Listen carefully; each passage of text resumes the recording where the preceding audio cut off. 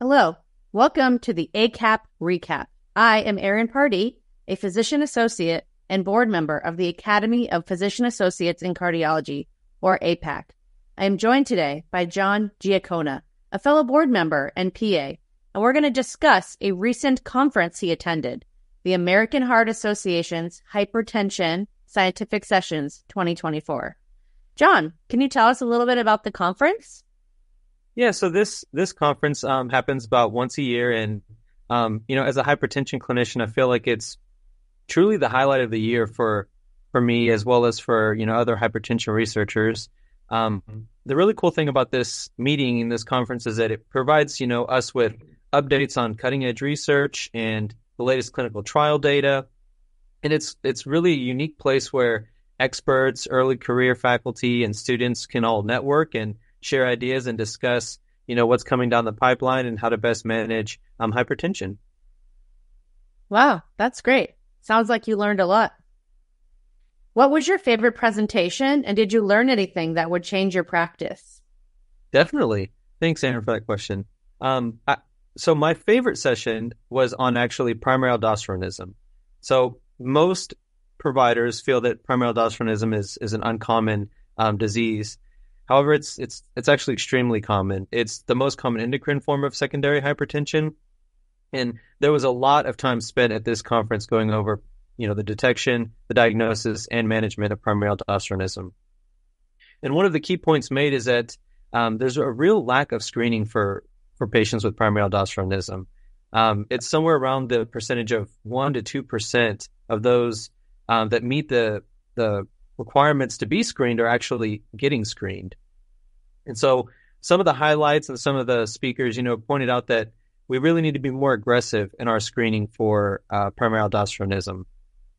Some of the patients that could benefit from screen- screening, um, those with you know high pretest probability, are those with resistant hypertension. You know, they're on three meds. One of them is a diuretic, um, and they're uncontrolled. Or if they're on four meds and they're controlled they should really all be screened for primary aldosteronism.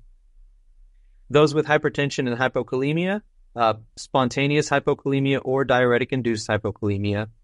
Um, those with hypertension and incidentaloma, so adrenal, um, you know, adenomas found um, or CT scans for other reasons. Um, those with hypertension and obstructive sleep apnea, um, or if they have a family history of early onset hypertension. All of those patients uh, I think consensus, expert consensus is they should really be screened for primary aldosteronism. The screening for primary aldosteronism is is a serial, is not a serial, but is a simultaneous measurement of plasma aldosterone concentration and plasma renin activity, as well as a BMP, because you want to check for potassium. Um, if your potassium is too low, that can actually inhibit aldosterone secretion and lead to to a, a missed opportunity in terms of diagnose, potentially diagnosing a patient. So repleting their potassium in that case is, is of utmost importance. The other key point brought up in the conference is that screening for primary aldosteronism, many people might be reluctant because of medication inter- interference, specifically spironolactone and other MRAs, um, thiazide diuretics, potassium wasting diuretics. They can actually increase um, renin. And so most of the time people are I don't, you know, they're, they're sort of afraid to screen in these patients. However, because these drugs raise renin, it's actually better to go ahead and screen when you have them in the office the first time. Just do an initial screening um, because in the context of a suppressed renin, despite whatever medications they're using, raises the suspicion for primary aldosteronism. And you can always wash out these medications and rescreen later on. Um, it's just a really pragmatic approach. It's a and it's a really um, strong effort to try and increase screening in people that likely have primary aldosteronism. Wow, that is really interesting. I had no idea about all of the screening criteria. I think that will really help some people. Finding more of these patients so we can better treat them is an excellent path to take. Did you learn about any upcoming developments in this realm or clinical trial data that may be soon available? Yes, Erin. Actually, there was a great discussion on the use and implementation of renal denervation um, especially in the context of the AHA's recent scientific statement on renal denervation. Um, you know, it's it's it's a new FDA approved treatment for those with resistant hypertension. and I and I think some of the key takeaways that would benefit most um, providers in cardiology is that the overall response rate and efficacy of renal denervation is quite variable and not uniform among all patients. Generally speaking, the reductions in both daytime um, ambulatory blood pressure and office systolic blood pressure was about 5%. And we had that response after three months of renal denervation in about 60 to 70% of patients. Um, so, I mean, if you think about it, that's essentially the same as adding a new antihypertensive. You can expect the same kind of response. The unfortunate part is that there really is no clinical feature in the current RCTs apart from a high baseline blood pressure that consistently associate with a greater response to renal denervation. So the the AHA scientific statement kind of came up with a pragmatic way for us to, you know, assess and determine who should be getting renal denervation. So who what type of patient um, should be getting this procedure?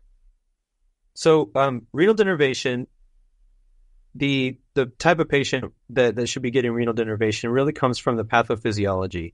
And so what we're doing with renal denervation is we're going into the renal arteries and we're either using ultrasound or radiofrequency ablation to essentially heat up and burn the nerves, um, the afferent nerves and the efferent nerves that are in, integrated in the wall of the renal arteries. And by that, we can reduce sympathetic nerve activity. And so one of the things that's important in identifying a patient, even though the RCT data doesn't necessarily suggest this, we're basing this off of pathophysiology, is that those that have both combined systolic and diastolic hypertension. So really you want to avoid people with just isolated systolic hypertension, which you commonly see in old, older patients. Um, and you really want to combine systolic and diastolic hypertension. Another important factor in that is that that needs to be confirmed with out of office blood pressure. So we want to rule out secondary um, hypertension like white coat um, or mask, and we want to confirm that with 24 hour ambulatory or home blood pressure monitoring. Another group of patients that we see that could potentially benefit are those that are prescribed, you know, one to two meds, so they're not necessarily resistant, but they can't tolerate much higher doses of medications or additional medications. So they could have you know, a number of side effects at different classes and they're only able to be on one or two. Like I said, the the reduction in blood pressure is similar to adding about one new medication. So in those patients, we could we could potentially see um, a benefit in them. And then the most obvious answer would be adults with true resistant hypertension. So if they're on three meds, as I had mentioned earlier, that are um, uncontrolled, or if they're on four meds that are controlled or uncontrolled, they meet that definition renal denervation could be something that could benefit them in the long run. That's really great. Are there any patients that should not receive this procedure, such as patients that have kidney disease?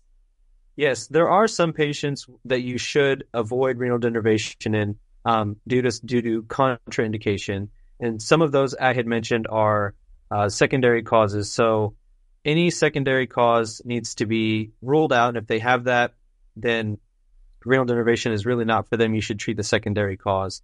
Um, at this moment, it's also not appropriate for pregnant adults or those with any any type of anatomical issue in the in the renal artery because we are going into the renal artery to ablate. If they have something like fibromuscular dysplasia, a stented renal artery, renal artery aneurysm, or renal artery stenosis, then those patients would not be candidates uh, for for uh, renal denervation. And like I had, and like you had alluded to, those with you know stages four and five CKD um, are not are likely not good candidates. And um, I guess some other important factors are those with single kidneys or if they've had uh, you know kidney transplant. Those are all great things to consider. Thank you so much. That's a really interesting field, and uh, we're all excited to learn more about it as more and more data comes out. So, what type of um, provider or what specialty provider uh, would most benefit from this conference? So, my, my initial response is any person who cares for a patient that has a blood pressure. But in in, re- in reality, uh, I would say those in cardiology, nephrology, or endocrinology, because really hypertension is the interplay uh, between those three um, specialties. And so, I think if you are in any of those specialties, in APP, um, or a physician or a scientist, researcher in any of those specialties, I think you would benefit. Um, the nice thing about the AHA conference is there are two tracks. There's a clinical uh, there's a clinical track where most clinicians can you know get very pragmatic approaches to treating uh, uh, hypertension of different types. And there's also a basic science track. So if you're a wet lab scientist or a bench scientist, um, then you can gain a lot of insight there. And sprinkled in both both sides is is sort of population um, population research as well. So if you're an epidemiologist um, and you study chronic diseases, I think you would get a lot of benefit from this conference as well. Wow, that's great. There's a, a large breadth of people that can come and benefit from it. Is there any introductory information, like maybe for new grads or people new to cardiology, or is this more of a really deep dive into hypertension? There are some uh, there are some introductory si- sections because within the clinical section we have a primary care sort of focused uh, set. We have some primary care focused sessions, and so if you're new to cardiology or you are a primary care provider and you really want to, you know, learn more about hypertension and how to better manage and treat your patients, um, there's room for for you as well. Wow, that's great. Do you know when the next conference is? Yes. The next conference is around the same time, September 4th through the 7th, 2025, and it will be in Baltimore, Maryland. Will you be there? I will certainly be there. Excellent. Speaking of conferences, I wanted to let everybody know about our upcoming conference. That's APAC. We're putting on a conference called CAPP. That's Cardiovascular Advanced Practice Providers. Our conference is going to be next month, October 17th through the 19th, 2024 at Red Rocks Resort in Las Vegas. We're offering a range of cardiology topics from valves to coronary syndrome, electrophysiology, cardiomyopathy, lipids, heart failure, POTS, cardiac devices. Our speakers will cover the most up to date guidelines, best practices, and things not to miss. As a cardiology provider, we hope to see you there. This has been an episode of the ACAP Recap. Thanks for listening. You can find this episode and more at HCP Live and on YouTube.